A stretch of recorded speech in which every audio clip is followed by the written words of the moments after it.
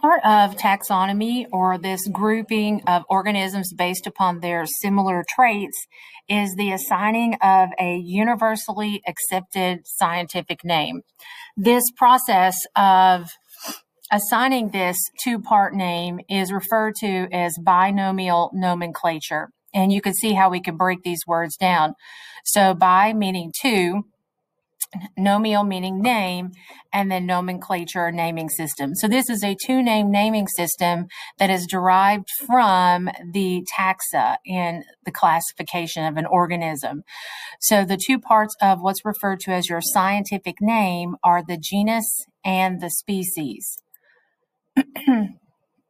when you're talking about the genus and the species, uh, there are some rules to follow as you are writing them.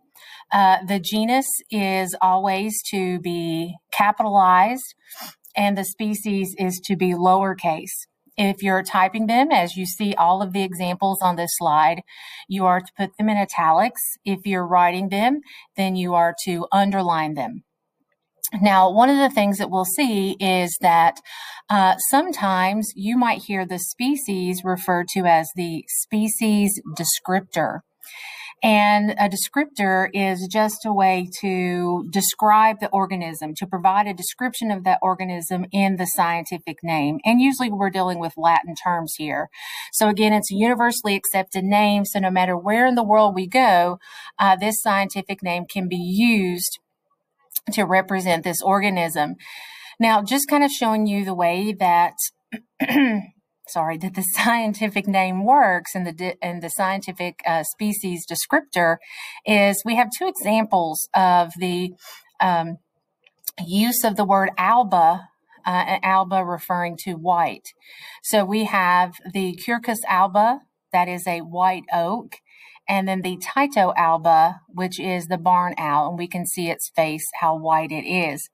Uh, another example over here of organisms that um, are different organisms, but they have the same species descriptor, uh, which this one kind of seems a little bit negative there.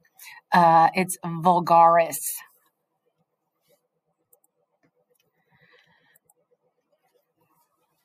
Now, when it comes to the genus and species, um, some other rules to kind of look at. Um, you can write the genus by itself. Uh, the genus can be standalone. And the example I put here to kind of describe this to you is that we could be talking about a genus of bacteria known as Clostridium.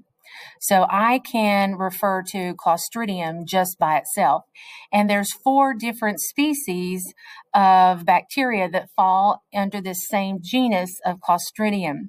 So we have Clostridium perfringens, uh, Clostridium tetani, Clostridium botulinum, and Clostridium difficile. So all of those fall under the genus of Clostridium. Now, one thing, and I'm going to go back to the previous slide, is that we want to avoid writing the species by itself because it cannot stand alone. Because the species name, again, is probably going to be descriptive, somehow descriptive of the organism itself. And we could see with this tree and with this owl that we use the same species descriptor for white.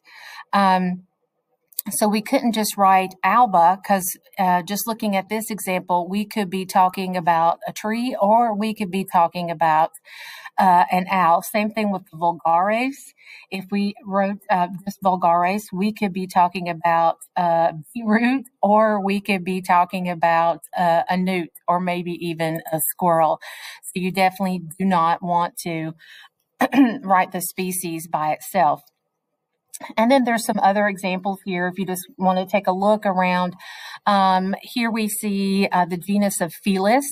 Uh, so Felis pardalis is an ocelot, and a Felis domesticate is a domesticated cat, a house cat.